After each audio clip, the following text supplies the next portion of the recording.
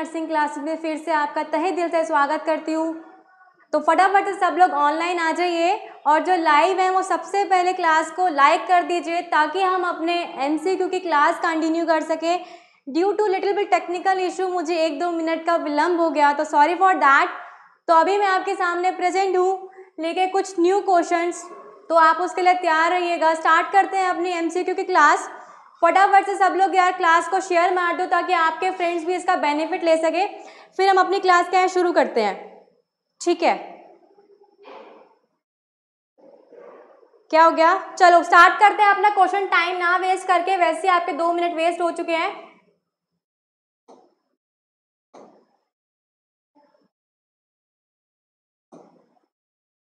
चलिए स्टार्ट करते हैं अपना पहला question good evening a very good evening to all of you चलिए बहुत सबको गुड इवनिंग हो गया आप क्लास के ऊपर बढ़ते हैं अपना। क्वेश्चन है polio vaccine associated paralysis polio paralysis is caused by A B C D A B C या डी आंसर कीजिए फटाफट से।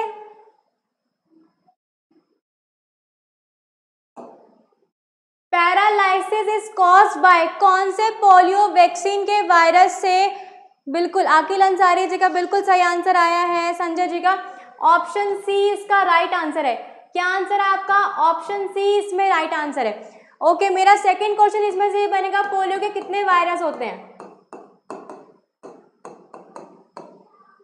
पोलियो वायरस टोटल आपके कितने होते हैं? तीन होते हैं। Polio, polio virus one polio virus second and polio virus आपका थर्ड। इसमें हम एक क्वेश्चन ये पूछ के चलते हैं, क्या? कि आपके वर्ल्ड से कौन सा पोलियो वायरस जो है इरेडिकेट हो चुका है? इसमें हमारा एक क्वेश्चन और बन सकता है कि वर्ल्ड से पोलियो के तीन वायरस थे आपके, वन, टू, थ्री। तो वर्ल्ड से कौन सा इरेडिकेट हो गया है? कौन सा वायरस है आपका पोलियो का जो इरेडिकेट हो चुका है? आंसर कीजिए फटाफट से। बिल्कुल, जो आपका पोलियो वायरस सेकंड है, वो क्या हो चुका है? वर्ल्ड से आपका इरेडिकेट हो गया है। कब हुआ था? ईयर अगर एग्ज़ाम में पूछ लिया जाए कि वर्ल्ड से पोलियो वायरस सेकंड आपका कब इरेडिकेट हुआ था तो आंसर विल बी 2015 2015 में। इज़ दैट क्लियर चलिए, सभी के सही आंसर आ रहे हैं। नेक्स्ट क्वेश्चन पे मूव करते हैं अब सेकंड क्वेश्चन है आपका।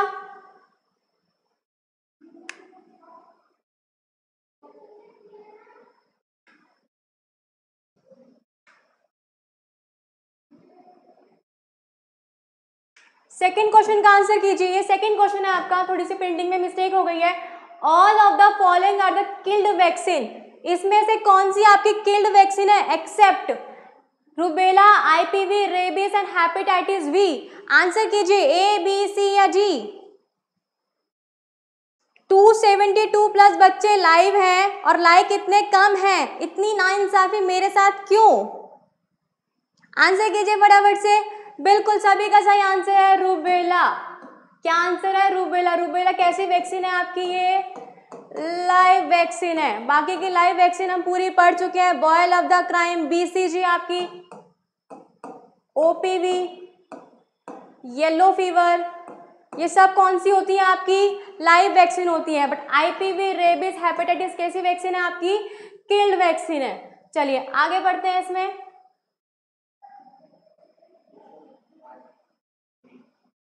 अच्छा पहले क्वेश्चन शुरू करने से पहले मुझे ये बता दो, सही दिख रहा है ना ठीक से? विजिबल है, कोई ब्लरिंग तो नहीं हो रहा है कि ब्लर दिख रहा है या कुछ नहीं दिख रहा? सही दिख रहा है ना सबको?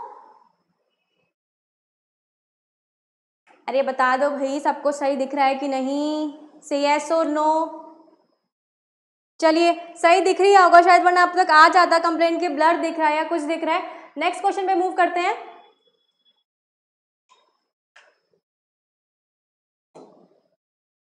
ठीक है थर्ड क्वेश्चन है अपना। The corona virus in India is first case registered in Kerala that is called corona virus का फ़र्स्ट केस कहाँ पे रजिस्टर्ड हुआ था आपका? केरला में। उसको आप क्या बोलेंगे? इंसिडेंस पेंडेमिक प्रिविलेंस या फिर इंडेक्स ए बी सी या डी आंसर कीजिए फटाफट से।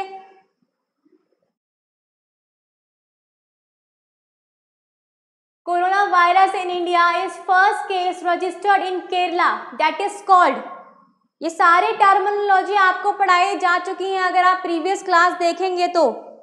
किसी का भी आंसर गलत नहीं आना चाहिए। काफ़ी गलत आंसर आ रहे हैं बट किसी के सही भी आ रहे हैं। तो राइट आंसर इज़ इंडेक्स क्या राइट आंसर है आपका? इंडेक्स एक होता है आपका क्या? प्राइमरी केस एक होता है आपका सेकेंडरी और एक होता है क्या आपका? इंडेक्स जो फ़र्स्ट केस आपका कम्युनिटी में प्रेजेंट है, उसको हम प्राइमरी केस बोलते हैं। जिस केस को कोई फिजिशियन है, वो क्या बता चुका है डिक्लेयर कर चुका है कि इस पर्सन को ये बीमारी है, उसको हम इंडेक्स बोलते हैं। और फ़र्स्ट केस के बाद जितने भी आपके केसेस होते हैं, उनको हम क्या बोलते हैं? सेकेंडरी केसेस बोलते हैं। क्या बोलते हैं? सेकेंडरी केसेस बोलते हैं। इंसिडेंस क्या होता है? इंसिडेंस का मीनिंग बताइए, ये हम प्रीवियस क्लास में भी डिस्कस कर चुके हैं। इंसिडेंस क्या होता है? आंसर कीजिए फटाफट से इंसिडेंस क्या होता है? आंसर कीजिए फटाफट से इंसिडेंस क्या होता है? न्यू केसेस को क्या बोलते हैं? Incidence new plus old cases कौन से होते हैं आपके? प्रिविलेंस में आते हैं। और आपकी कोरोना क्या है आपकी कोरोना क्या है? आपकी पेंडेमिक डिज़ीज़ है। Outbreak of disease in a all over the world ठीक है? आई थिंक चारों ऑप्शन आपको क्लियर हो चुके होंगे इसमें। ये क्वेश्चन बड़े इजी इजी हैं तो ज़्यादा हम इनमें टाइम नहीं लगाएँगे, क्योंकि हमारे पास क्वेश्चन की स्ट्रेंथ बहुत ज़्यादा है। फिर आपको थोड़ी देर बाद ही नींद आने लग जाती है कि हमको नींद आ रही है क्लास को फास्ट चलाओ। तो आज हम क्लास को फास्ट ही लेके चलेंगे। ठीक है? Next question a patient complain tingling sensation patient complain tingling sensation after start isoniazide. What is the nursing action? Patient क्या कंप्लेन कर रहा है कि उसको टिंगलिंग सेंसेशन हो रही है? कब आइसोनियाजाइड जब उसने लेना शुरू किया है तो आप एज अ नर्स आपका क्या प्राइटरी एक्शन होगा? Start calcium gluconate start niacin start calcium या फिर स्टार्ट पायरोडॉक्साइन ए बी सी या डी आंसर कीजिए फटाफट. ए बी सी या जी आंसर कीजिए. हाँ जी. इसका आंसर है स्टार्ट पायरोडॉक्साइन बिल्कुल. सभी के सही आंसर है. सेकंड क्वेश्चन ये बनता है ड्रग ऑफ़ चॉइस किसकी है ये? इसी में से वन मोर क्वेश्चन आइसोनियाजाइड किसके ड्रग ऑफ़ चॉइस है? कौन सी डिज़ीज़ की ड्रग ऑफ़ चॉइस है आइसोनियाजाइड आंसर कीजिए फटाफट से. बिल्कुल सभी के सही आंसर है. आइसोनियाजाइड आपकी किसके ड्रग ऑफ़ चॉइस है? ट्यूबर क्लोसिस की. किसके ड्रग ऑफ़ चॉइस है आपकी? ट्यूबर क्लोसिस की ड्रग ऑफ़ चॉइस क्या है आपकी? आइसोनियाजाइड क्या करती है ये? क्या कॉज करती है? पेरीफेरल न्यूरोपैथी कॉज करती है। क्या कॉज करती है? आइसोनियाजाइड पेरीफेरल न्यूरोपैथी कॉज करती है, जिसकी वजह से टिंगलिंग सेंसेशन देखने को मिलती है। पेरीफेरल न्यूरोपैथी जैसी कंडीशन डेवलप ना हो, उसके लिए हम क्या देते हैं? पायरोडॉक्सिन देते हैं। क्या देते हैं? पायरोडॉक्सिन देते हैं। पायरोडॉक्सिन को आप और किस नाम से जानते हैं? कौन से विटामिन को आप पायरोडॉक्सिन बोलते हैं? Vitamin A vitamin B one B two B three B four B five B six B seven कौन से को आप क्या बोलते हो पायरोडॉक्सिन? बताइए। कौन से विटामिन को आप पायरोडॉक्सिन बोलते हो? आंसर कीजिए फटाफट से।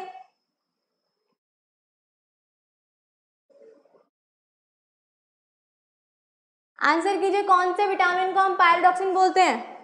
Vitamin B six Mamta ji Akil Ansari सबका आंसर बिल्कुल सही आया है, विटामिन बी सिक्स तभी अगर किसी पर्सन को हम आइसोनियाजर चलाते हैं तो उसको क्या प्रोवाइड करते हैं? Vitamin B six to prevent peripheral neuropathy चलिए नेक्स्ट क्वेश्चन पे मूव करते हैं। ध्यान से पढ़िएगा। आप टाइम ले सकते हैं, जितना भी लेना चाहें इस क्वेश्चन को सॉल्व करने के लिए। A nurse assess a patient of a head injury head injury करके आपके पास में एक पेशेंट आया है। ओपन इज़ आइज़ ये आपका जीसीएस का क्वेश्चन है। ग्लास ग्लूकोमा स्केल का आपका क्वेश्चन है ये। Open is eye on painful stimuli वो अपनी आईज को ओपन कर रहा है कब? जब आप उसको पेनफुल स्ट्यूमुलाई दे रहे हैं। And he localize the site of the painful stimulus and mutter incomprehensible sound his GCS score GCS score बताना है आपका क्वेश्चन रीड करके क्या होगा? ए बी सी या डी आंसर कीजिए फटाफट से। क्विक आंसर कीजिए, क्या बात है? आंसर रुक गए हैं सबके आने। बिल्कुल, फिर भी सभी के सही आंसर आ रहे हैं आपके योर आंसर इज़ सी चलिए, अब हम बात कर लेते हैं इसमें कंडीशन आपसे क्या क्या पूछी गई थी। देखिए रैशनल की बात कर रहे हैं इसमें हम। Open eye on painful stimuli तो आप कितने मार्क्स देंगे? टू मार्क्स देंगे। Localize the site of the painful stimuli आप कितने मार्क्स देंगे? फाइव मार्क्स देंगे. एंड मटर इनकॉम्प्रहेंसिबल साउंड्स बोल रहा है वो तो आप इसमें टोटल कितने नंबर देंगे? दो. दो, पाँच और दो टोटल कितने होते हैं? नाइन तो राइट आंसर है आपका नाइन और एक इमेज आपके सामने आती है पूरी जीसीएस की. टोटल स्कोर आपका होता है कितना? पंद्रह. मैक्सिमम स्कोर कितना होता है जीसीएस में? थोड़ा ब्लड दिख रहा होगा आपको बट फिर भी टोटल स्कोर आपका कितना होता है? पंद्रह होता है। और मिनिमम की बात करें तो कितना होता है आपका? तीन होता है। आई को हम कितने देते हैं? आई ओपनिंग को फोर देते हैं। वर्बल रिस्पॉन्स में फाइव देंगे। एंड आपका मोटर रिस्पॉन्स कितना जाएगा आपका? सिक्स जाता है। तो ये सब है। किसी को स्क्रीनशॉट ले रहे हैं तो वो ले सकता है। तो टोट मिनिमम आपका तीन है और मैक्सिमम कितना होता है? पाँच होता है। चलिए नेक्स्ट क्वेश्चन पे मूव करते हैं आप। ड्यूरिंग मेडिकल हैंड वॉशिंग बहुत इंपॉर्टेंट क्वेश्चन है। आपका काफ़ी बार एग्ज़ाम में पूछा जाता है। During medical hand washing water flow will be जब हम मेडिकल हैंड वॉशिंग कर रहे हैं क्वेश्चन को ध्यान से पढ़िएगा तो उस टाइम पे हमें वाटर का फ्लो कहाँ पे रखना है? ऐसे रखना है कि ऐसे रखना है। ए बी सी या डी आंसर कीजिए फटाफट से। During medical hand washing water flow will be water का फ्लो आपको कैसे रखना है? Wrist to elbow wrist to elbow या एल्बो टू रिस्ट या फिर नो स्पेसिफिक साइड कहीं पर भी दो दो या फिर hand above the elbow A B C या डी आपका राइट right आंसर क्या है इसमें? एल्बो टू हैंड क्या है? एल्बो टू हैंड ठीक है, इसमें आपका एक क्वेश्चन बनता है काफ़ी बार। Maximum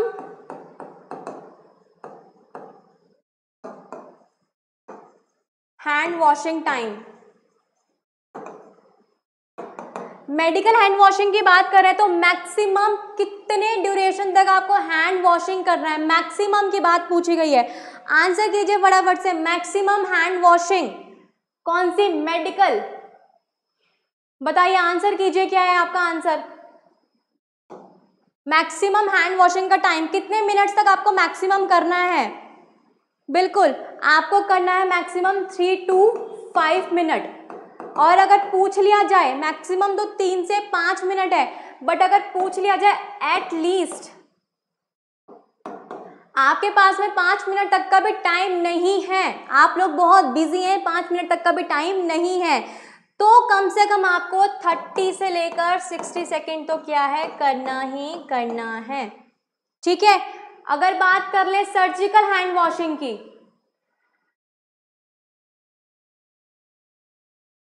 किसकी बात कर रहे हैं हम? सर्जिकल हैंड वॉशिंग की। तब बताइए, अगर इस क्वेश्चन में मेडिकल की जगह सर्जिकल लिखा होता तो आपका आंसर क्या होता? अगर इस क्वेश्चन में मेडिकल की जगह सर्जिकल हैंड वॉशिंग लिखा होता तो आपका आंसर होता इसमें ए रिस्ट टू एल्बो क्या होता आपका? रिस्ट टू एल्बो चलिए।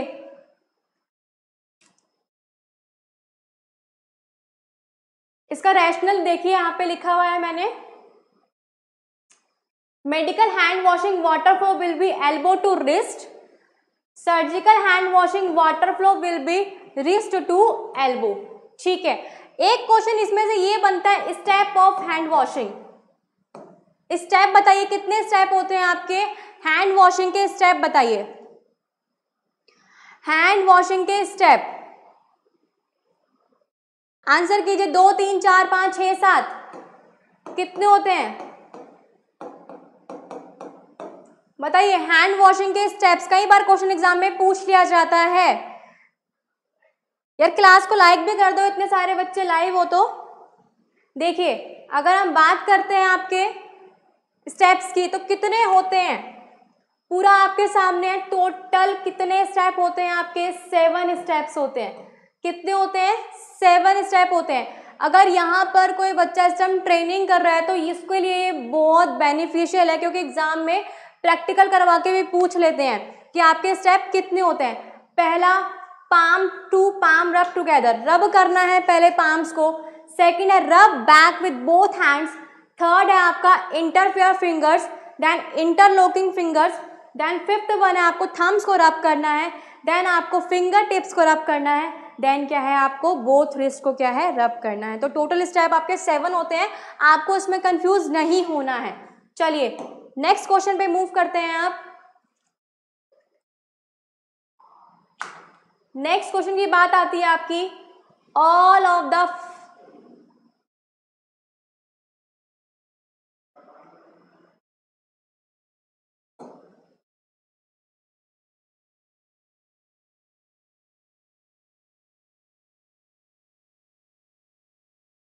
ठीक है.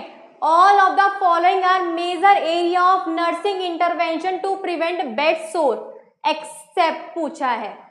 नर्सिंग इंटरवेंशन आपको बताना है to prevent bed sore except. Backup use of over bed cradle, use of air mattress या फिर पोजिशनिंग ए बी सी या डी क्वेश्चन को और उनके ऑप्शन को ध्यान से रीड करना है, क्योंकि आधे लोगों के इसमें गलत आंसर आ रहे हैं। क्वेश्चन को ध्यान से पढ़िएगा एक एक ऑप्शन को ध्यान से पढ़िएगा, क्योंकि एक सिंगल वर्ड अगर मिसिंग होता है तो क्वेश्चन आपका पूरा ज़ीरो होता है। चलिए, बात करते हैं इसके राइट right आंसर की तो इसका राइट right आंसर जाएगा आपका डी क्या राइट आंसर जाएगा आपका डी राइट आंसर जाएगा, कैसे जाएगा? देखिए। रैशनल मैंने आपके सामने यहाँ पे लिखा हुआ है। टर्म पोजिशनिंग सिर्फ़ वहाँ पे पोजिशनिंग टर्म लिखा था, बल्कि जब हम बेड सोर में पोजिशनिंग करते हैं तो एवरी टू आर पे हम पोजिशन चेंज करते हैं। एवरी टू आर पे पोजिशन चेंज करते हैं।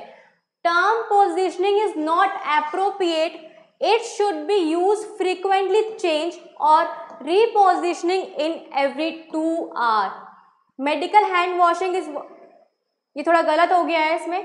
दूसरे क्वेश्चन का भी इसमें लिखा गया है सॉरी इतना ही आपका ये रैशनल है। ठीक है? अगर वहाँ पर टू आर लिखा होता तो आपका आंसर वही राइट होता बट वहाँ पे सिर्फ़ पोजिशनिंग लिखा था, इसलिए वो क्या है आपका एक्सेप्ट हो गया। ठीक है? चलिए नेक्स्ट क्वेश्चन पे मूव करते हैं, इसको काट लीजिएगा, ये थोड़ा मिसप्रिंट हो गया है। आपका राइट आंसर ये इतना ही सही है। चलिए नेक्स्ट क्वेश्चन पे मूव करते हैं आप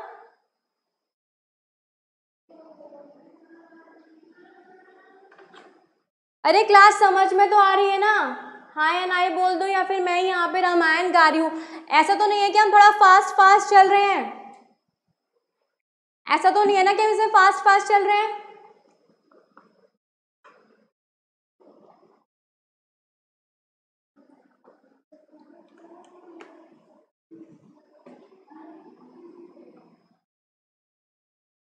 चलिए। नेक्स्ट पे मूव करते हैं। Eight month child had pylorotomy pyloromyotomy perform to correct a pyloric stenosis which position provide to infant after surgical procedure hypertrophic pyloric stenosis का पेशेंट है, जिसको क्या परफॉर्म किया गया है? पाइलोरोमायोटमी परफॉर्म किया गया है।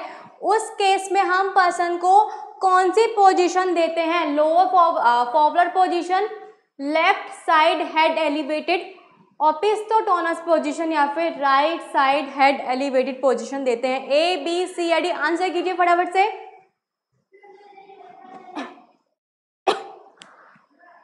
आंसर कीजिए फटाफट से। ए बी सी या डी इसका राइट right आंसर है आपका क्या? D right side head elevated position देते हैं। ये आपका क्या हो गया? ईसोफेगस हो गया। क्या हो गया आपका? ईसोफेगस हो गया। यहाँ पे आपका क्या आ गया? स्टमक आ गया। इसमें क्या होता है? ये आपका पैलोरिक वाला जो पार्ट होता है, वो क्या हो जाता है? उसमें स्टीनोसिस हो जाता है नैरोइंग हो जाता है, जिसकी वजह से आपके पैलोरिक पोर्शन कहाँ पर होता है? राइट साइड में होता है। उसके प्रेशर को प्रिवेंट करने के लिए हम राइट साइड पोजीशन देते हैं पर्सन को किसमें आपके हाइपरट्रॉफिक पैलोरिक स्नोसिस में। एक क्वेश्चन पूछा जाता है इसमें, क्या most common sign of symptom सबसे फ़ेमस साइन क्या है आपका हाइपरट्रॉफिक पैलोरिक स्टिनोसिस का? कई बार एग्ज़ाम में इसके सिम्टम से ही क्वेश्चन पूछ लिया जाता है। Most common sign and symptom of hypertrophic pyloric stenosis answer कीजिए फटाफट से।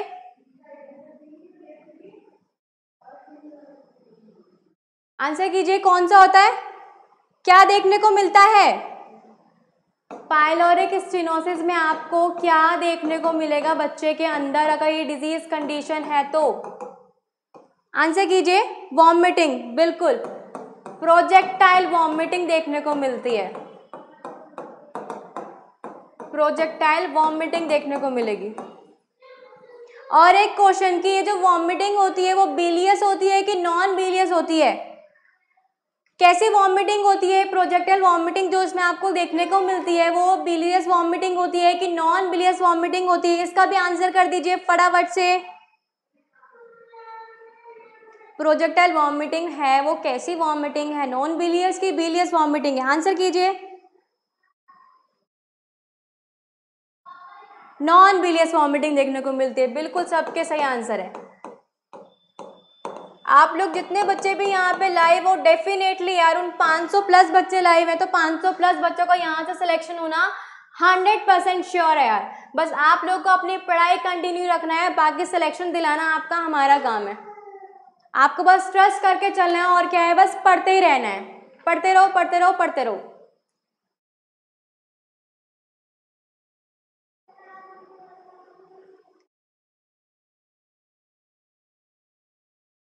देखिए new born place supine with head turn to one side extremely on same side straighten and extremely extremity on opposite side क्या है? Flex है। The above sentence define which reflex ये जो पूरी टर्म यहाँ पे लिखी है, वो आपके कौन से रिफ्लेक्स को बताती है। Tonic neck, gallant reflex palmar reflex या फिर मोरो रिफ्लेक्स। ए, बी, सी या डी? आंसर कीजिए।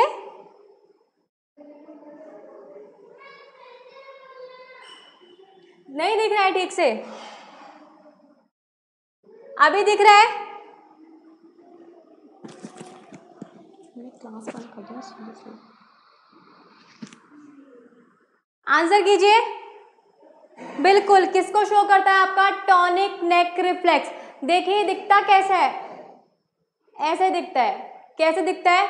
जिस साइड बच्चे ने क्या करा है फेस करा है, उस साइड की एक्सट्रीमिटी कैसी हो गई है इसकी? ऐसे सोते हैं ना हम। तो अगर इमेज वैसे पूछा नहीं जाता है बट अगर पूछ ले तो ये किसकी होती है आपकी? टॉनिक नेक रिफ्लेक्स एक क्वेश्चन बनता है कि ये डिसअपियर कौन सी एज में होता है? इतना तो शायद क्लियर दिख रहा है। इससे ज़्यादा तो यार मैं आज के लिए माफ़ी चाहूँगी क्लियर नहीं कर पाऊँगी। ठीक है, अब ये मुझे बता दीजिए डिसअपियर कौन सी एज में होता है आपका? इसको जूम करूँ? इमेज को? बच्चा प्यारा लग रहा है आपको? देख लो क्यूट सा बच्चा है। हाँ जी, बिल्कुल सभी के आंसर है। फोर मंथ की एज में। चलिए नेक्स्ट क्वेश्चन पे मूव करते हैं। बच्चा क्यूट लग रहा है ना? हाँ बहुत क्यूट है। चलिए, तीन से चार महीने की एज में क्या है? डिसअपियर हो जाता है। नेक्स्ट क्वेश्चन पे चलते हैं।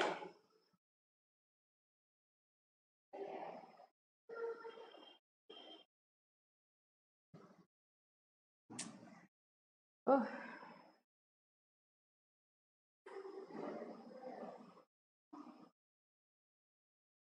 Which of the following regulate respiration rate and depth? Simply पूछा है which of the following regulate regulate कौन करता है रेस्पिरेटरी रेट और डेप्थ को? Medulla oblongata cerebellum hypothalamus या फिर mid brain A B C या डी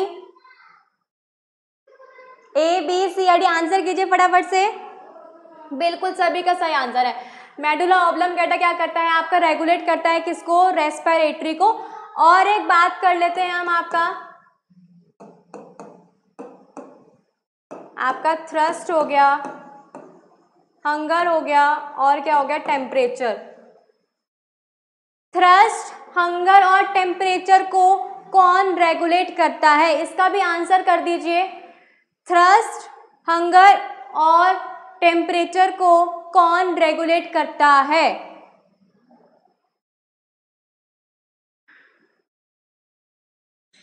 आंसर कीजिए फटाफट से।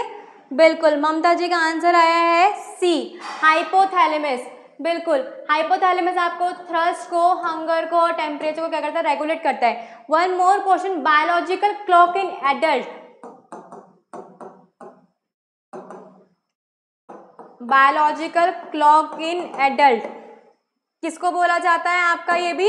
हाइपोथैलेमस को ही क्या है? बोला जाता है। चलिए, इसी के साथ सभी के सही आंसर हैं। नेक्स्ट क्वेश्चन पे मूव करते हैं।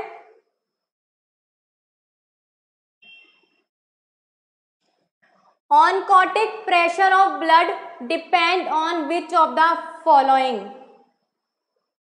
oncotic pressure of blood depend on which of the following A B C या डी आंसर कीजिए फटाफट से। फास्ट फास्ट आंसर करो यार। सी, बिल्कुल एल्बुमिन एल्बुमिन क्या करता है? ऑनकॉटिक प्रेशर को मेंटेन करता है. किसको मेंटेन करता है आपके? ऑनकॉटिक प्रेशर को. और आपका एल्बुमिन क्या है? एक तरह की आपकी प्लाज्मा प्रोटीन होती है. क्या होती है आपकी?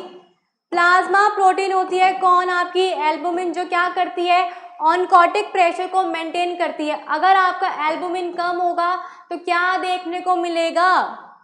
अगर एल्बुमिन अपनी बॉडी में क्या है, कम होता है तो उस कंडीशन में क्या देखने को मिलता है? आंसर कीजिए फटाफट से। फटाफट से आंसर कीजिए। अगर एल्बुमिन बॉडी में का लेवल कम हो जाता है आपका तो क्या देखने को मिलेगा?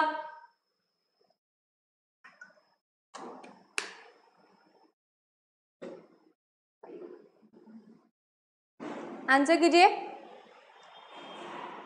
एडीमा, बिल्कुल जी, अशोक जी का सबसे पहले सही आंसर है। क्या देखने को मिलता है आपको? एडीमा, जैसी कंडीशन क्या है? देखने को मिलती है। चलिए नेक्स्ट क्वेश्चन पे मूव करते हैं।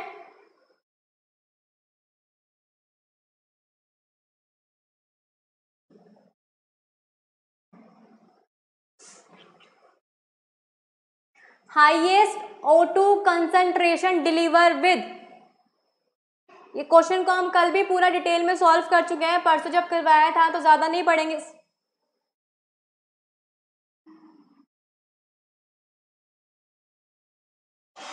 Highest O two concentration deliver with A B C या D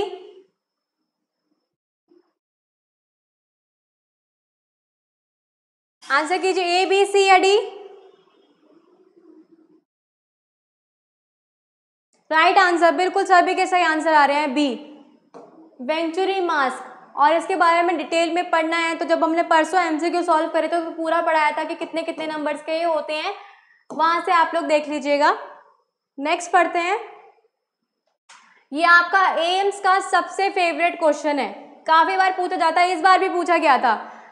W H O surgical check list containing all of above except A B C या D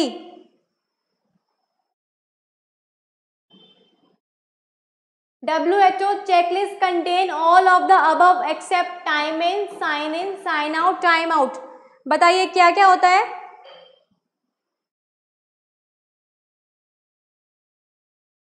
आंसर कीजिए फटाफट से। Sign in sign time in sign in sign out या time out बिल्कुल सभी के सही आंसर है, उसमें टाइम इन नहीं होता। साइन इन होता है साइन आउट होता है और टाइम आउट होता है। आप बात करेंगे साइन इन क्या होता है? फटाफट से बताइए साइन इन क्या होता है? हम बात करें साइन इन की। टाइम पीरियड होता है आपका before induction of anaesthesia sign out की बात करें तो ये कब से कब होता है आपका? Before patient leave operating room. और टाइम आउट होता है आपका before skin, before given skin incision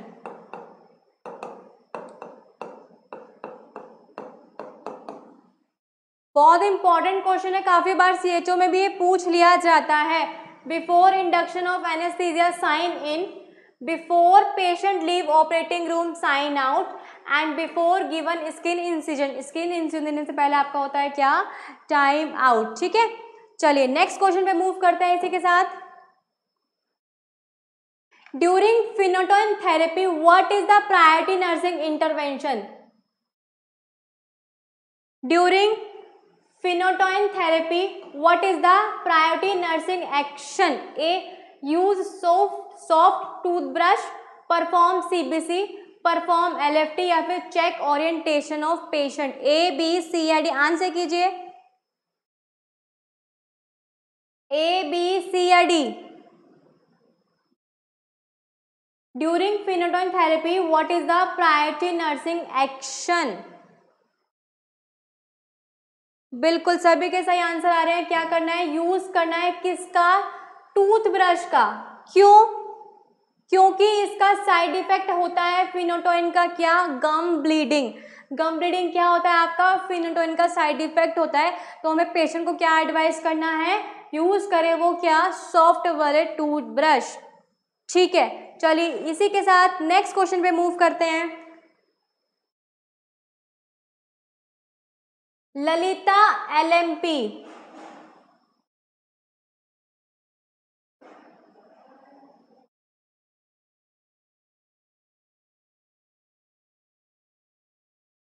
Lalita LMP begin July ten.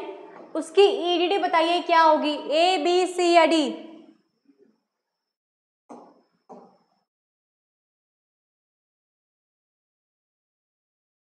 चलिए अब मैंने कलर चेंज कर लिया। अब आंसर बताइए। ईडीडी बताइए ललिता की। ईडीडी क्या होगी? एलएमपी है उसकी। 10 जुलाई। ए बी सी या डी 10 जुलाई। उसकी क्या है? एलएमपी है। अब उसके हमें बताना है क्या? Expected date of delivery A B C या डी बिल्कुल सभी के सही आंसर है। क्या है? चौ आपका सत्रह अप्रैल 2020 ही हम इसमें मान के चलते हैं। आप इसे कैसे काउंट करते हैं?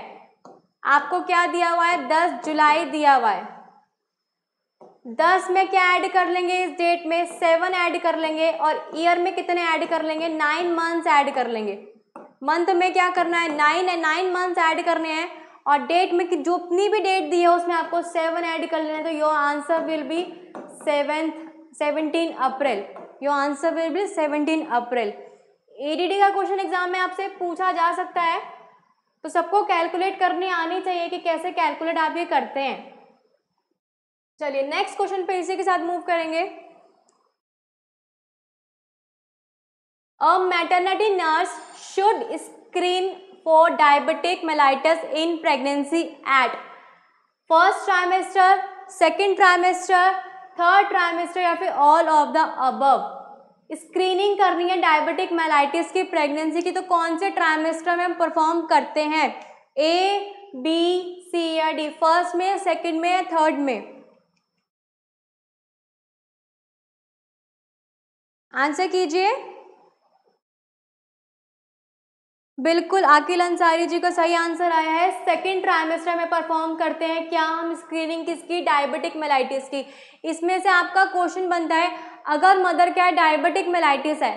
अगर मदर क्या है, आपकी डायबिटिक मेलाइटिस है तो बच्चे के अंदर क्या देखने को मिलेगा? हाइपरग्लाइसीमिया या फिर हाइपोग्लाइसीमिया मदर क्या है डायबिटिक मेलाइटिस है तो इस केस में जो वो बेबी होगा डिलीवर उसमें कौन सी कंडीशन आपको देखने को मिलेगी?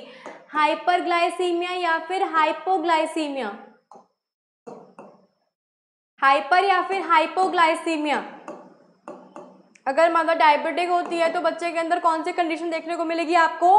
हाइपोग्लाइसीमिया जैसी कंडीशन क्या है? देखने को मिलेगी।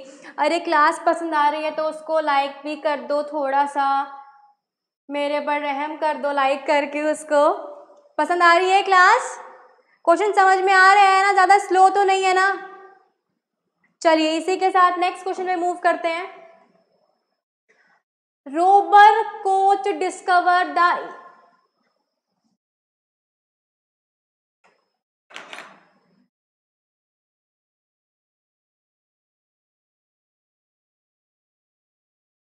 Robert Koch discover the aetiology agent of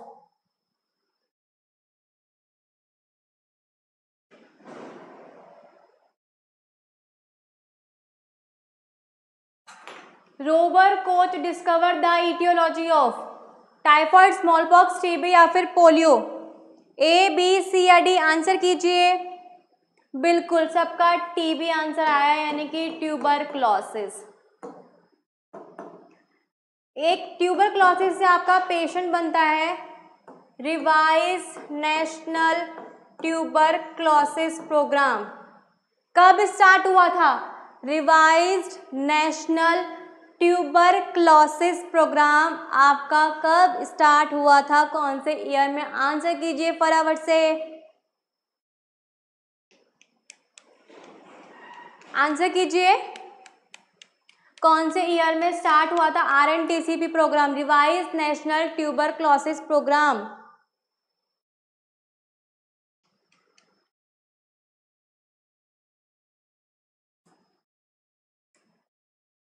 1997 कब हुआ था ये आपका? 1997 में। और एक क्वेश्चन इसमें से आपका ये बनता है कि revise national tuberculosis programme अभी किसमें कन्वर्ट हो गया है? R N T C P programme आपका किसमें कन्वर्ट हो गया है? आंसर कीजिए, जो आपका R N T C P programme है, वो किसमें कन्वर्ट हो गया है अभी रिसेंटली कौन से प्रोग्राम कौन से प्रोग्राम में ये कन्वर्ट हो गया है? ये आपका चेंज हो गया है किसमें नेशनल टीबी एलिमिनेशन प्रोग्राम में नेशनल टीबी एलिमिनेशन प्रोग्राम में। कब? 2020 2020 में R N T C P change हो गया आपका एन टी ई पी में। किसमें एन टी ई पी में। चलिए नेक्स्ट क्वेश्चन पे आते हैं आप।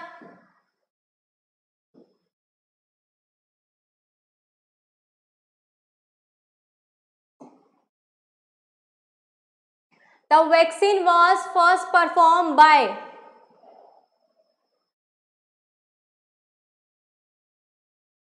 answer कीजिए एटीन का। The vaccine was first perform by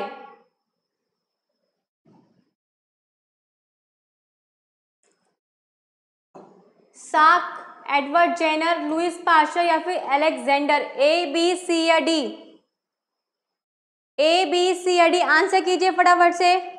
बिल्कुल, एडवर्ड जेनर। बी, इसका राइट आंसर है, कौन सी वैक्सीन थी? बताइए, सबसे पहले कौन सी वैक्सीन बनी थी? ये हम पहले ही पढ़ चुके हैं। एडवर्ड जेनर ने the vaccination was first perform Edward Jenner, बिल्कुल। कौन सी वैक्सीन दी थी? कौन सी वैक्सीन पहले, सबसे पहले बनी थी? आंसर कीजिए। आपकी बनी थी स्मॉल पॉक्स की।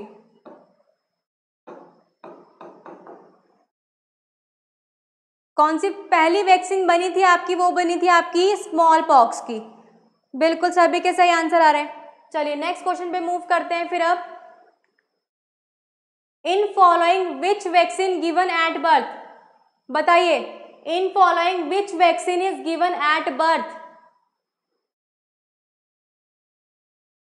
in following which vaccine is given at birth BCG DPT measles या फिर एमएमआर हम पहले पढ़ चुके हैं क्वेश्चन वही रिपीट हुआ है। तो इसका राइट आंसर है आपका क्या? बीसीजी क्या राइट आंसर है आपका? बीसीजी एट बर्थ पे कौन सी वैक्सीन देते हैं हम? आपकी बीसीजी की वैक्सीन देते हैं। चलिए इसी के साथ नेक्स्ट क्वेश्चन पे मूव करते हैं।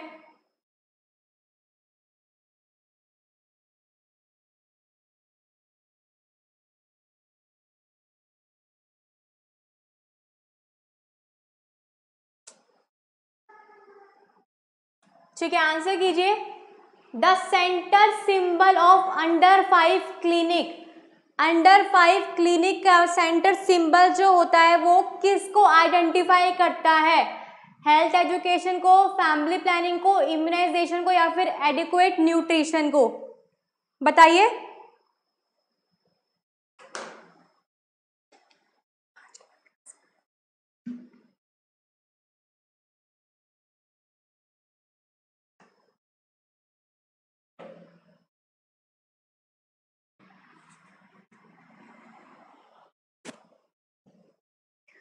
आपका इसका राइट आंसर जाएगा क्या? फैमिली प्लानिंग क्या जाएगा आपका? फैमिली प्लानिंग देखिए, पूरे को ही पढ़ लेते हैं।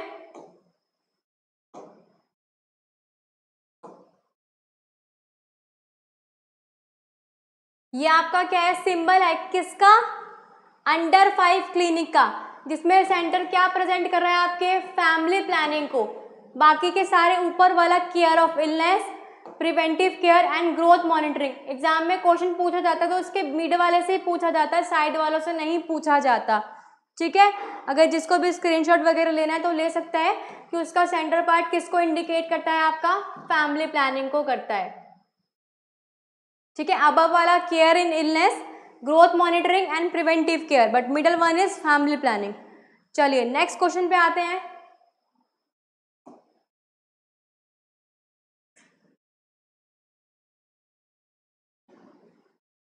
National rural health mission was launch NRHM national rural health mission was launch in year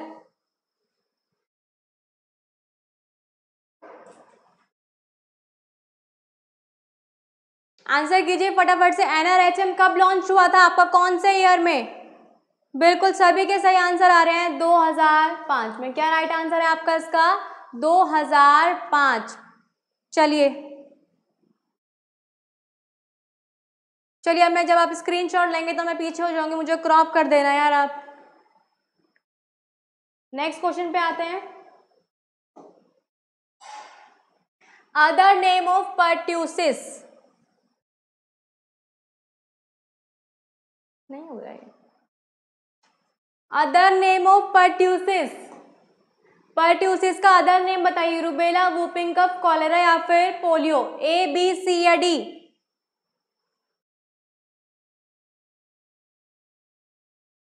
answer कीजिए। बिल्कुल, वूपिंग कफ बोलते हैं। और एक और अदर नेम और बताइए। वन मोर पर्ट्यूसिस को वूपिंग कफ के अलावा हम और किस नाम से जानते हैं? बिल्कुल, मिस्टर नर्सिंग हैकर जी का राइट आंसर आया है क्या? Hundred day cough. और बात करके चलते हैं इसके पॉजिटिव एजेंट की। किसकी बात करेंगे? पॉजिटिव एजेंट की। पॉजिटिव एजेंट बताइए आप किसका? पर्ट्यूसिस का। पॉजिटिव एजेंट बताइए किसका आप? पर्ट्यूसिस का तो वो होता है आपका। बॉडीटिला पर्ट्यूसिस ठीक है, बात करते हैं इसके इंक्यूबेशन पीरियड की। इंक्यूबेशन पीरियड बताइए किसका? पर्ट्यूसिस का इंक्यूबेशन पीरियड क्या होता है?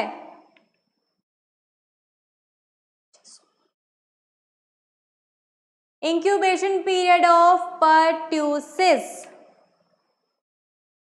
क्या बात यार, इतने सारे बच्चे लाइव क्लास को लाइक और शेयर भी कर दो। मज़ा आ रहा है ना पढ़ने में? चलिए बात करते हैं इसके इंक्यूबेशन पीरियड की तो वो होता है आपका सात से लेकर चौदह दिन का। और पर्ट्यूसिस की मात्र एक ऐसी वैक्सीन होती है जो क्या करती है? ब्लड ब्रेन बैरियर को क्रॉस करती है। अगर किसी पर्सन को न्यूरोलॉजिकल प्रॉब्लम है न्यूरोलॉजिकल सिम्टम है तो उसमें हम पर्ट्यूसिस वैक्सीन को क्या मानते हैं? कॉन्ट्रा इंडिकेटेड मानते हैं। चलिए नेक्स्ट क्वेश्चन पे आते हैं अब इसी के साथ। सभी के सही आंसर आ रहे हैं।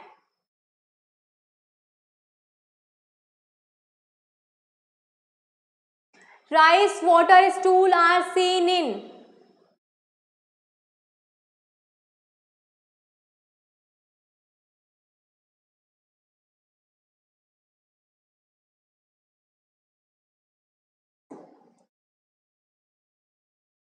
rice water stool are seen in. Typhoid rubella cholera या फिर amoebic dysentery A B C या डी कॉलेरा बिल्कुल सभी का सही आंसर है क्या? कॉलेरा अभी मेरे को पूछना है कॉलेरा का पॉजिटिव एजेंट बताइए। राइस वाटर स्टूल दिखता है किसमें? कॉलेरा में। अब बात करेंगे कॉलेरा के पॉजिटिव एजेंट की।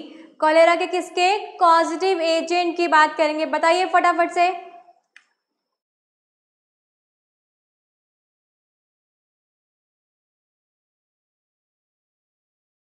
अरे समझ में तो आ रहा है ना। हम बात करते हैं इसके पॉजिटिव एजेंट की तो वो होता है आपका क्या?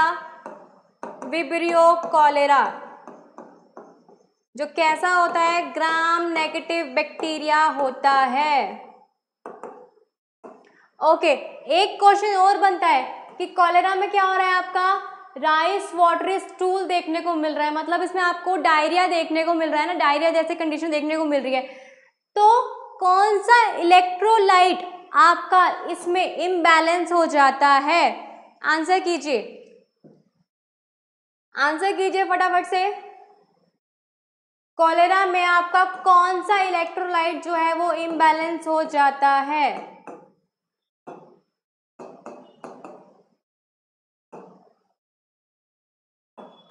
बताइए, कौन सा आपका इलेक्ट्रोलाइट क्या हो जाता है? इम्बैलेंस हो जाता है इन cholera.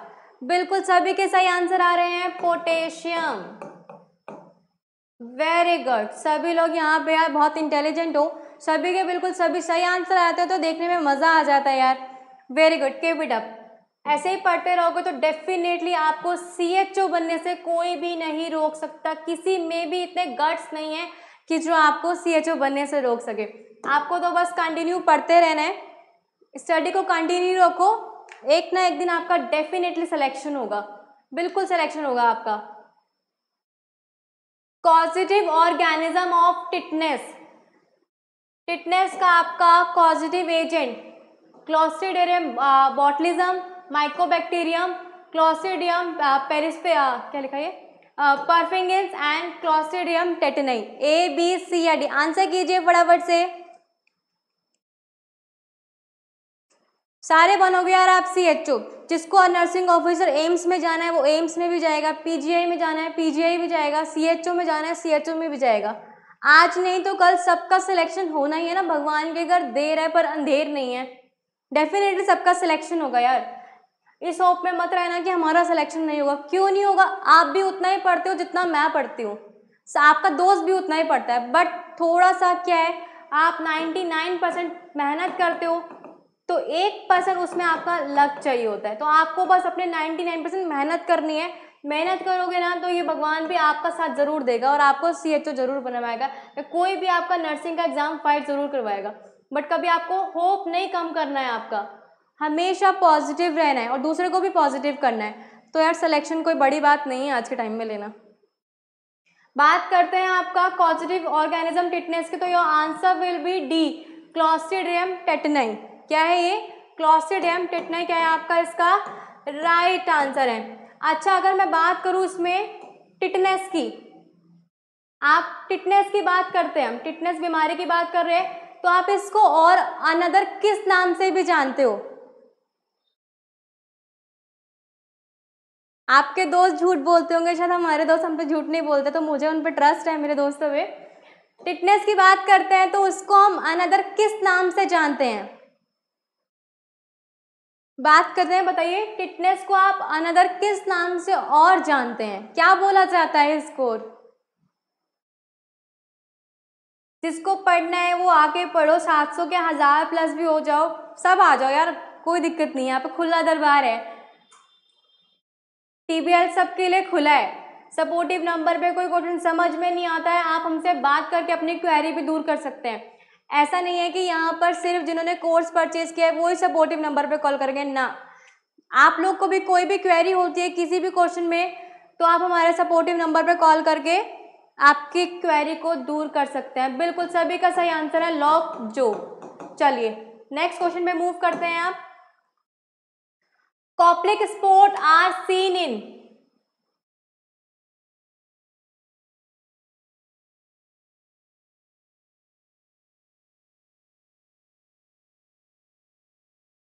Koplik spots are seen in rubella, rubeola, typhoid या फिर chicken pox A B C या डी देखो, अभी आपके कम्युनिकेबल डिज़ीज़ से क्वेश्चन आ रहे हैं। किसी का भी गलत आंसर हुआ तो कल आपको मनी सर मुर्गा ज़रूर बना देंगे, क्योंकि वो सारी डिज़ीज़ पढ़ा चुके हैं आप सबको। तो किसी की भी आंसर गलत नहीं होना चाहिए। अगर कोई मुर्गा या मुर्गी नहीं बनना चाहता तो सारे आंसर सही आंसर करने हैं सबको, ठीक है ना? इसका आंसर जाएगा क्या? रूबियोला। क्या आंसर जाएगा? Koplik's spot seen in rubeola. Rubeola को और किस नाम से जानते हैं? आप रूबियोला को अगर रूबियोला ना हो तो यहाँ पर कोई और ऑप्शन हो तो वो आप उसको क्या ऑप्शन देना चाहोगे? क्या लिखा होना चाहिए वहाँ पे रूबियोला की जगह? इस रूबियोला को मैंने यहाँ पे क्या कर दिया? रब कर दिया। अभी बताइए, ये तीनों ऑप्शन में नहीं हो सकते।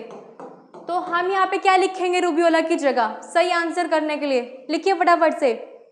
सोनू जी, बिल्कुल मीजल्स बात करते हैं आपके इसके इंक्यूबेशन पीरियड की। बताइए फटाफट से मीजल्स का आपका इंक्यूबेशन पीरियड कितना होता है? मीजल्स का इंक्यूबेशन पीरियड बताइए कितना होता है? क्या बात है फटाफट से कमेंट करो, मज़ा आ गया देख के।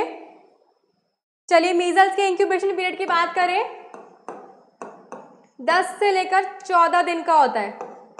कितने दिन का होता है आपका? दस से लेकर चौदह दिन का। बिल्कुल सभी के सही आंसर आ रहे हैं। आगे बात करते हैं रूबेला की। एक टर्म और है फिर आपका रूबेला रूबेला को आप और किस नाम से जानते हैं? रूबियोला की बहन रूबेला या रूबियोला का भाई रूबेला कुछ भी इंडिकेट करो। अभी ये बताओ कि रूबेला को आप किस अदर नेम से जानते हैं? मैंने इतना पढ़ लिया था मैम मेरा नाम लो बट नाम किसका लेना है वो मैं पढ़ नहीं पाई। चलिए। इंक्यूबेशन पीरियड में आपको अभी से कंफ्यूजन नहीं होगा। कोई बात नहीं, हम एक क्लास आपके सिर्फ़ इंक्यूबेशन पीरियड की ले लेंगे डोंट वरी फिर आपके सारे कंफ्यूजन दूर हो जाएँगे। जर्मन मीजल्स बिल्कुल सभी का सही आंसर है। जर्मन मीजल्स अभी इसका इंक्यूबेशन पीरियड बताइए। जर्मन मीजल्स का इंक्यूबेशन पीरियड बताइए, कितना होता है? आपका होता है वो चौदह से लेकर इक्कीस दिन का। कितना होता है? फोर्टीन से लेकर ट्वेंटी वन डेज़ का क्या होता है आपका इंक्यूबेशन पीरियड होता है।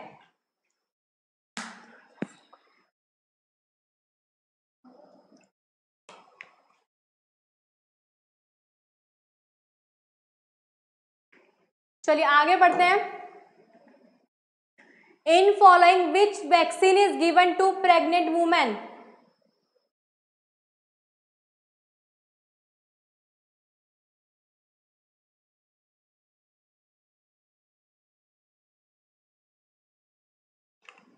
Answer कीजिए फटाफट से।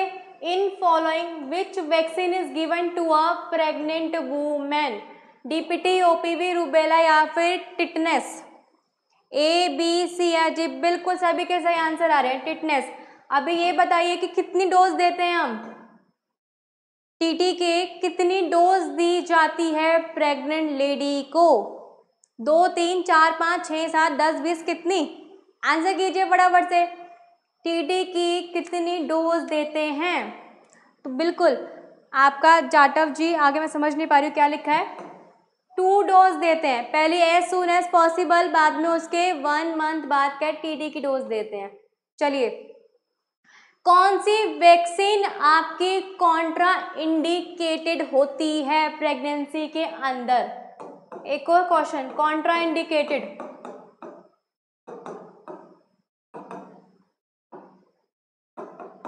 कौन सी वैक्सीन आपकी कॉन्ट्रा इंडिकेटेड होती है टीटी के अंदर? आंसर कीजिए फटाफट से। यार क्लास को लाइक भी कर दो। 800 प्लस बच्चे मुझे लाइव देख रहे हो और लाइक्स इतने कम है। इतनी नानसाफी मेरे साथ। बहुत गलत बात है यार। आंसर कीजिए, बिल्कुल। रूबेला की आपकी वैक्सीन कॉन्ट्रा इंडिकेटेड होती है। जितनी भी आपकी लाइव वैक्सीन है, वो प्रेगनेंसी में क्या है? कॉन्ट्रा इंडिकेटेड मानी जाती है, क्योंकि क्या करती है आपके क्या करती है रूबेला? बच्चे के अंदर कंजेनेटल एबनॉर्मलिटीज क्या है कॉज करती है, इसलिए हम इसको क्या रखते हैं? कॉन्ट्रा इंडिकेटेड रखते हैं। चलिए इसी के साथ नेक्स्ट क्वेश्चन पे मूव करते हैं।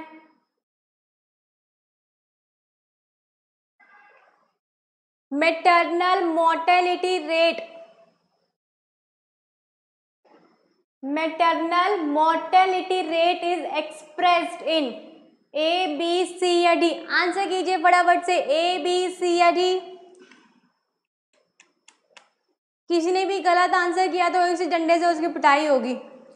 आंसर कीजिए फटाफट से. ए बी सी या D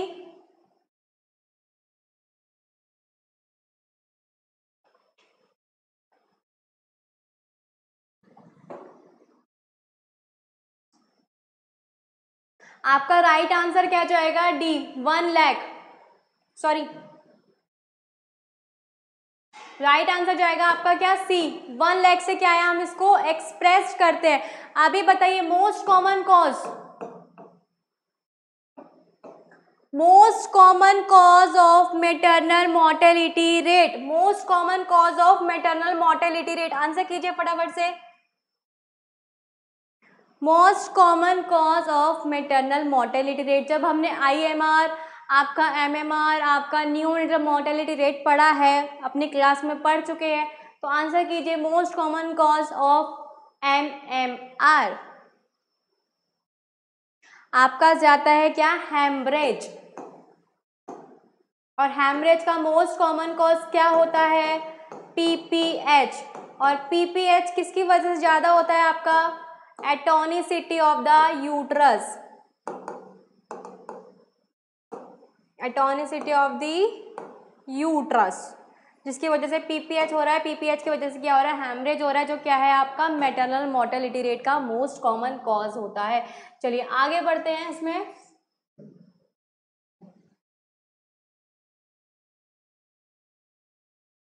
In human body rods and cones are related to vision hearing smell और touch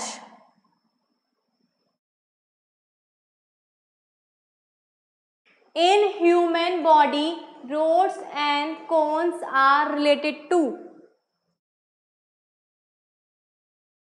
इससे ज़्यादा क्या स्पीड बढ़ाऊं मैं? Vision hearing smell and touch A B C या डी आंसर कीजिए फटाफट। बिल्कुल सभी का सही आंसर आ रहा है विजन। आपके रोड एंड कोन्स होते क्या है? रोड एंड कोन्स आपके क्या होते हैं? फ़ोटो रिसेप्टार्स होते हैं। फ़ोटो रिसेप्टार्स होते हैं। देखो इस टाइम सब लोग क्या है, रोशनी में बैठे हैं। मैं भी क्या हूँ, फुल यहाँ पे लाइट है। तो इस टाइम पे मेरा कौन सा रिसेप्टर काम कर रहा है? वो कर रहा है कोन्स किसमें आपकी ब्राइट लाइट में।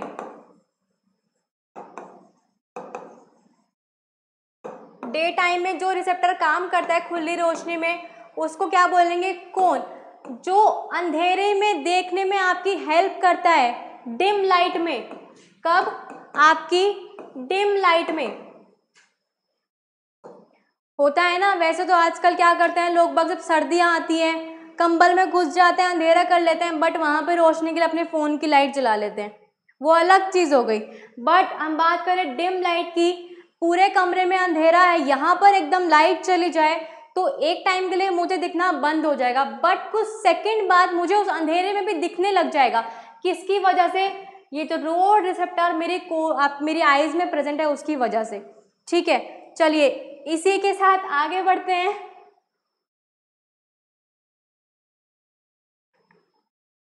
The largest cranial nerve is largest cranial nerve optic oculomotor trochlear या फिर ट्राइजेमिनल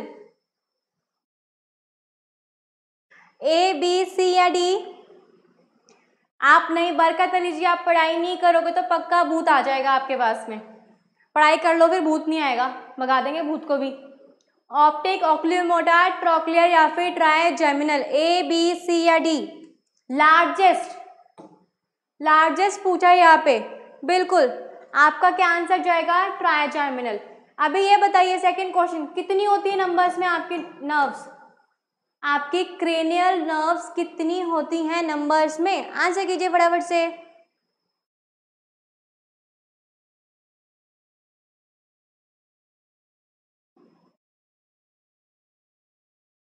आपकी बात करते हैं, आपकी टोटल क्रेनियल नर्व होती कितनी है? तो ये रही आपकी टोटल कितनी है ये? आपकी ट्वेल्व है। टोटल कितनी क्रेनियल नर्व होती है? आपकी बारह होती है। पहली होती है आपकी ओल फैक्ट्री सेकंड होती है आपकी ऑप्टिक थर्ड होती है आपकी ऑक्लियोमोटार फोर्थ होती है ट्रोक्लियर एंड फिफ्थ जो हमारा राइट आंसर था ट्राइजैमिनल सिक्स की बात करें एब्ड्यूसेंस सेवन होती है फेशियल एट होती है वेस्टिबुलोकोक्लियर नाइन होती है ग्लोसोफेरिंजियल आपकी टेंथ होती है वेगस इलेवेंथ होती है आपकी एसेसरी एंड ट्वेल्थ होती है आपकी हाइपोग्लोसियल। टोटल कितनी होती है? ट्वेल्व होती है। किसी भी ट्रिक से आप याद रख सकते हो। वन, मैंने इसी तरह से याद रखा था। आपको जो मन चाहे याद रख सकते हैं। One of our Telugu teacher Telugu teacher ask for very good vada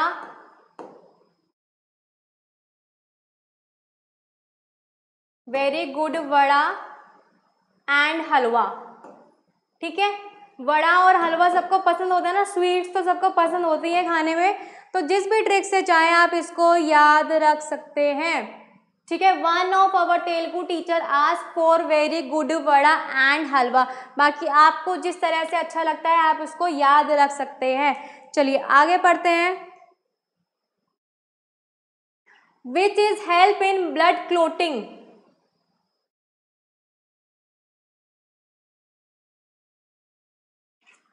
blood clotting which is help in blood clotting calcium magnesium potassium या फिर फोस्फोरस ए बी सी या डी आंसर कीजिए फटाफट से।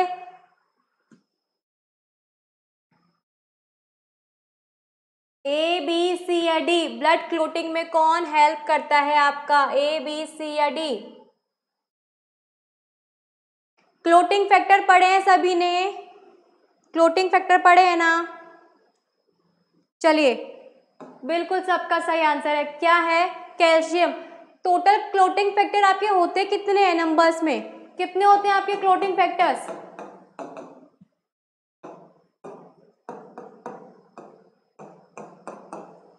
आंसर कीजिए क्लोटिंग फैक्टर होते कितने हैं आपके? राइट right आंसर आपका ए है, बिल्कुल सभी के सही आंसर आया है कैल्शियम बिल्कुल आंसर कीजिए, कितने होते हैं नंबर्स में? क्लोटिंग फैक्टर आपके? तेरह तेरह तेरह तेरह तेरह, बिल्कुल। इसमें से मिसिंग कौन से नंबर का होता है? एक क्वेश्चन और बनता है कि क्लोटिंग फैक्टर आपका कौन से नंबर का मिसिंग होता है? नहीं होता। एक, दो, तीन, चार, पाँच छः सात, आठ, नौ, दस। क्लोटिंग फैक्टर कौन से नंबर का आपका मिसिंग होता है? तो your answer will be six six number का क्लोटिंग फैक्टर क्या होता है? आपका मिसिंग होता है। चलिए नेक्स्ट क्वेश्चन पे मूव करते हैं अब Bartholin gland is present in. Bartholin gland कहाँ पर प्रेजेंट होती है? विजाइना, यूट्रल, ओवरी या फिर सर्विक्स, ए, बी, सी या जी आंसर कीजिए फटाफट से।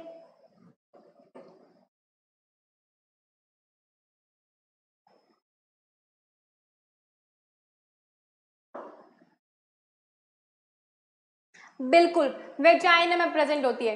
सभी के आंसर बिल्कुल राइट है। कितने नंबर्स में होती है बार्थोलिन ग्लैंड आपको ओबीजी में आपके रोशन सर शायद पढ़ा चुके हैं ये पूरा। बताइए, कितने नंबर की होती है ये? बहुत अच्छे से पढ़ाते हैं वो ओबीजी तो किसी का भी आंसर गलत नहीं जाना चाहिए। बार्थोलिन ग्लैंड कितने होती है नंबर्स में? सिर्फ़ बार्थोलिन ग्लैंड की बात करी है मैंने, सिर्फ़ बार्थोलिन ग्लैंड की। और किसी ग्लैंड की बात नहीं कर रहे हैं। बिल्कुल, ज्योति जी का सही आंसर आया है टू इन नंबर पहले। कितनी होती है आपकी? दो होती है नंबर्स में बार्थ और इंग्लैंड। चलिए नेक्स्ट क्वेश्चन पे मूव करते हैं। नंबर ऑफ़ थोरेसिक वर्टिब्रा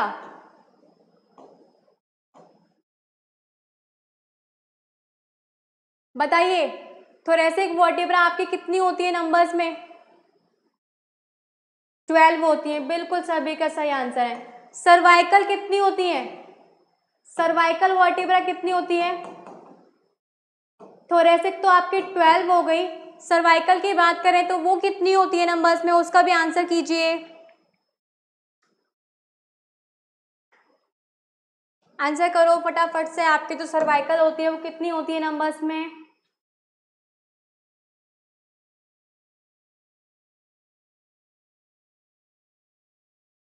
क्या हो गया?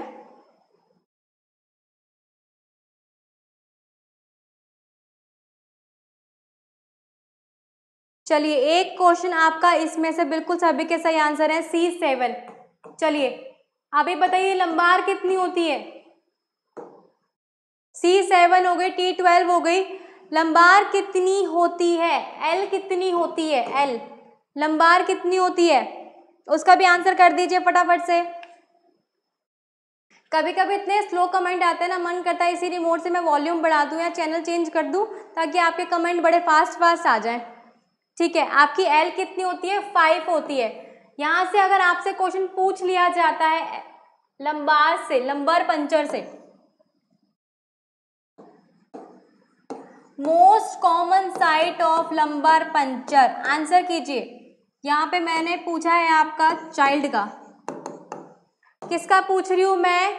चाइल्ड का पूछ रही हूँ। मोस्ट लंबर पंचर की मोस्ट कॉमन साइट आंसर कीजिए फटाफट से। Most common site of lumbar puncture in child. Question को पढ़िएगा, मैंने चाइल्ड लिखा है यहाँ पे। चाइल्ड की बात करिए। तो होती है आपकी L four and L five जो किसी ने भी L three and L four answer किया है, वो आपकी किसमें होती है? एडल्ट में होती है। कौन सी? L three and L four कई बार एग्ज़ाम में क्वेश्चन पूछ लिया जाता है। चाइल्ड में होती है आपकी एल फोर से एल फाइव एडल्ट में होती है एल थ्री से एल फोर एक क्वेश्चन और यहाँ से बनता है पोजिशनिंग का। ड्यूरिंग प्रोसीजर क्या? ड्यूरिंग प्रोसीजर आप कौन सी पोजीशन प्रोवाइड करोगे पेशेंट को? ड्यूरिंग लंबर पंचर आप कौन सी पेशेंट आपको कौन सी पोजीशन प्रोवाइड करोगे आप पेशेंट को? आंसर कीजिए फटाफट से।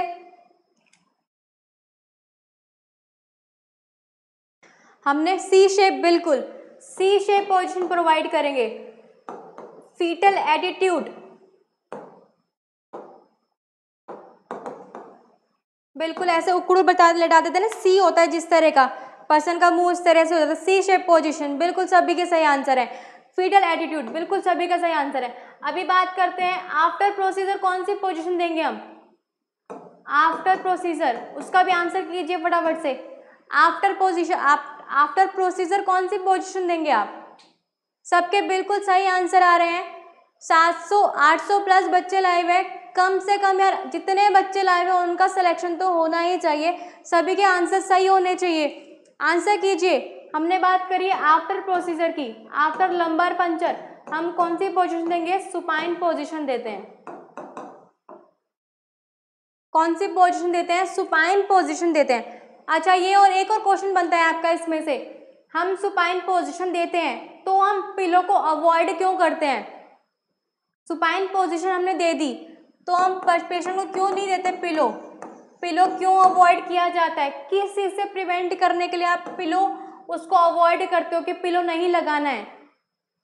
आंसर कीजिए फटाफट से। To prevent headache to prevent headache headache से प्रिवेंट करने के लिए क्या है हम? पिलो का यूज़ नहीं करते। ठीक है, चलिए नेक्स्ट मूव करते हैं आगे। Fifth vital sign is fifth vital sign fever pain BP shivering A B C या डी आंसर कीजिए फटाफट से। Fifth vital sign A B C या डी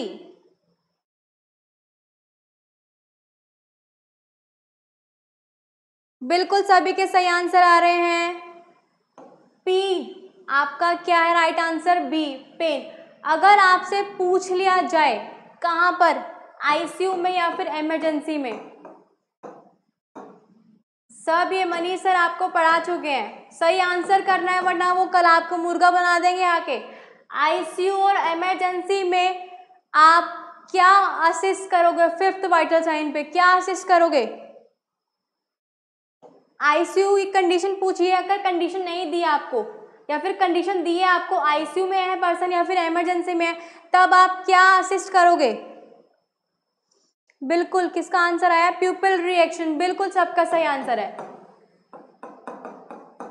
प्यूपिलरी रिएक्शन तो क्वेश्चन को आंसर करने से पहले अगर कैसे भी पूछ ले तो आपको दोनों साइड से पता होना चाहिए। ठीक है, बिल्कुल सभी के सही आंसर है। चलिए, आगे मूव करते हैं आप world health day is celebrate on W H O. World health day कब मनाया जाता है? ए बी सी या डी? आंसर कीजिए डब्ल्यू एच ओ के बारे में भी हम पूरा पढ़ चुके हैं आपका। वर्ल्ड हेल्थ ऑर्गेनाइजेशन के बारे में भी पूरा पढ़ चुके हैं। वहाँ से भी, भी क्वेश्चन पूछते हैं। यहाँ पे पूछा वर्ल्ड हेल्थ डे कब मनाया जाता है? बिल्कुल सभी का सही आंसर है सेवन अप्रैल। अगर पूछ लिया जाए ईयर अगर आपसे इसके आगे मैं डैश लगाऊँ fill in the blanks year fill करवाऊं तो कौन सा ईयर आप यहाँ पे फिल करोगे? सात अप्रैल आगे, सात अप्रैल के आगे हम क्या फिल करेंगे? इसमें आंसर कीजिए। सभी के सात अप्रैल बिल्कुल सही आंसर है। अभी बात करते हैं इसके आगे मैंने डैश छोड़ा है, इसमें मुझे ईयर फिल करवाना है तो हम कौन सा ईयर लिखेंगे यहाँ पे? 1948 बिल्कुल सभी का सही आंसर है 1948 बात करती हूँ मैं question world health organisation headquarter O का हेड क्वार्टर कहाँ पर है? W H O headquarter कहाँ पर है? आपका आंसर कीजिए फटाफट से। सभी के सही आंसर आ रहे हैं वेल डन सभी के बिल्कुल सही आंसर हैं। अभी नेक्स्ट क्वेश्चन का भी आंसर आपको बिल्कुल सही करना है। डब्ल्यू एच ओ का हेड क्वार्टर कहाँ पर है? जिनेवा में। बिल्कुल वेरी गुड सभी के बिल्कुल सही आंसर आ रहे हैं। सबने लगता है पूरा ठान रखा है कि हमको एग्ज़ाम फाइट अप करना ही करना है। वेरी गुड इसी कॉन्फिडेंट के साथ आपको आंसर देते रहना है और सारे आंसर अभी तक मैंने देखा है। 98 परसेंट सबके आंसर बिल्कुल सही गए हैं। चलिए, आगे बात करते हैं। Type of graft use into burn patient type of graft use into burn patient autograft xenograft allograft isograft answer कीजिए फटाफट से। Type of graft use into burn patient कौन सा ग्राफ्ट यूज़ करते हैं?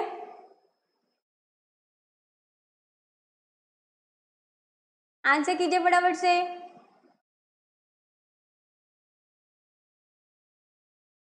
थर्टी फाइव का आंसर कीजिए। कौन सा ग्राफ्ट हम इसमें यूज़ करते हैं आपका? ऑटोग्राफ्ट। बिल्कुल ऑटोग्राफ यूज़ करते हैं। देखिए, बाकी की चीज़ों में भी इसमें देख लेते हैं हम।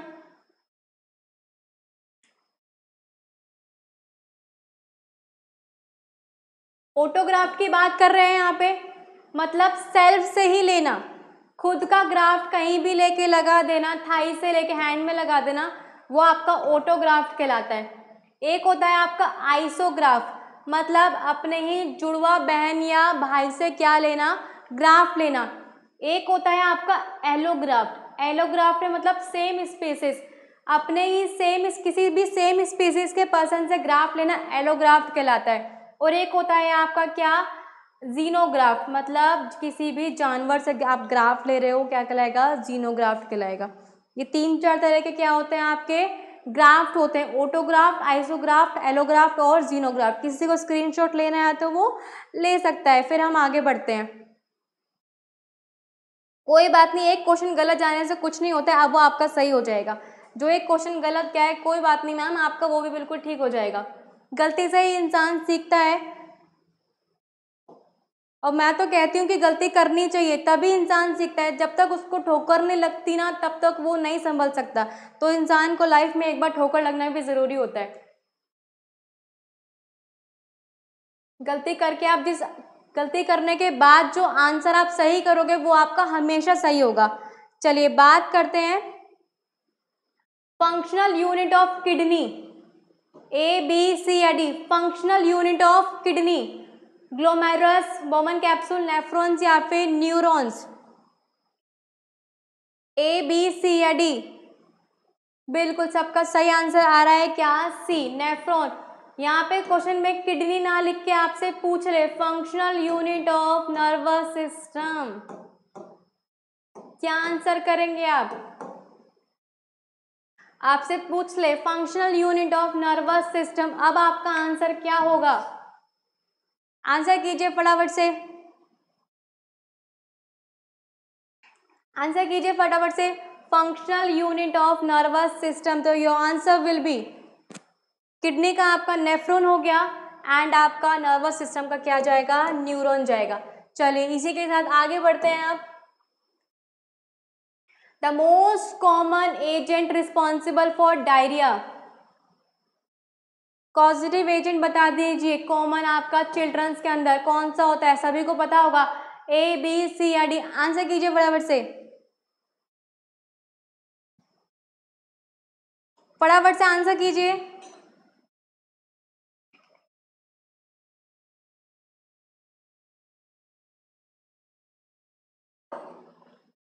बिल्कुल, सभी के सही आंसर है रोटा वायरस अभी ये बताइए कि जो रोटा वायरस है आई भी देते हैं आई एम देंगे या फिर हम ओरल देंगे। आपको जब हम देते हैं कि रोटा की हम वैक्सीन लगाते हैं, रोटा वायरस के लिए जब हम वैक्सीन लगाते हैं, जब हम इम्यूनाइजेशन शेड्यूल पढ़ेंगे, तब पढ़ेंगे। बट अभी बताइए, हम जो रोटा वायरस की वैक्सीन देते हैं, वो कौन से फॉर्म में होती है? I V, I M, oral या सबक्यूटेनियसली या फिर इंटरडर्मल? कैसे देते हैं? I V, I M, oral, subcutaneously, intradermally. बताइए, रूट बताइए। बिल्कुल, क्या बात है, बहुत शानदार आंसर आ रहे हैं सबके। ओरल रूट से देते हैं। सभी के बहुत बहुत बहुत प्यारे आंसर्स आ रहे हैं। आज दिल बहुत खुश हो गया है कि सभी के आंसर इतने अच्छे से आ रहे हैं। वेल डन इसी तरह से पढ़ते रहो यार आप। चलिए, आगे बढ़ते हैं। The most specific test for M I myocardial infection most specific test A B C या D most specific test for M I A B C या डी आंसर कीजिए फटाफट से।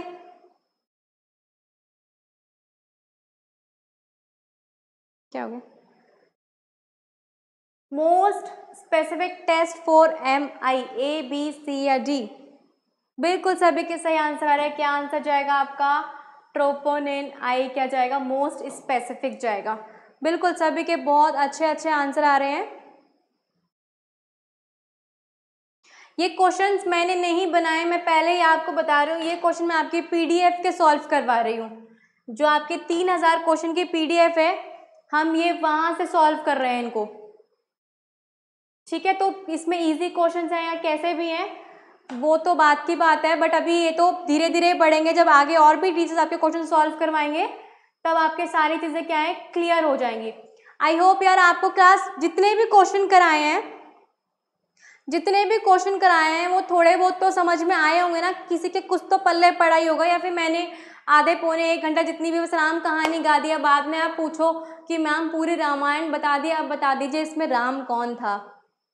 कुछ तो समझ में आया होगा। यार आप लोग के लिए हम इतनी मेहनत करते हैं रात को, आप लोग को थोड़ा सा हमको सपोर्ट करना है, और कुछ नहीं चाहिए हम लोग को आपसे, है ना? बस ऐसे ही आप लोग को बस पढ़ते रहो, और कुछ नहीं चाहिए। और बाकी अगर किसी को कोर्स ज्वाइन करना है, अगर कोई इंटरेस्टेड है तो अब हमारे सपोर्टिव नंबर पर कॉल करके हमारा ऐप का लिंक ले सकता है, और वहाँ पे डेमो क्लास देख के क्या कर सकता है कोर्स को ज्वाइन कर सकता है। जैसे कि अभी हमने post B S C G N M आपके बी एस सी स्टूडेंट्स के लिए भी कोर्स अवेलेबल किया है। अगर कोई चाहे तो वो उसको भी ज्वाइन कर सकता है। बाकी किसी को भी कोई भी क्वेरी होती है तो वो हमारे सपोर्टिव नंबर पे क्वेश्चंस पूछ के अपनी क्वेरी को भी दूर कर सकते हैं। ठीक है? बाकी फिर मिलते हैं आपकी नेक्स्ट क्लास जब भी होगी, उसके लिए आपको अपडेट कर दिया जाएगा। सब सो जाओ, खाना वाना खा के अच्छे से, फिर सुबह फिर फ्रेश होके अच्छे से पढ़ने बैठ जाना। ठीक है? फिर मिलते हैं अपनी नेक्स्ट क्लास में, तब तक के लिए